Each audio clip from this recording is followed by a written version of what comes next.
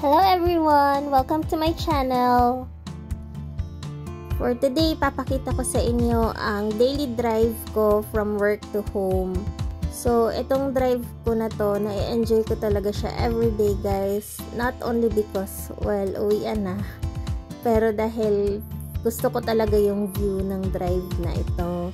Um, may shorter way kung gagamitin ko or kung dadaan ako sa freeway pero mas mas gusto ko talaga dito guys dahil maganda lang talaga at relaxing drive. So makikita niyo for today kung bakit.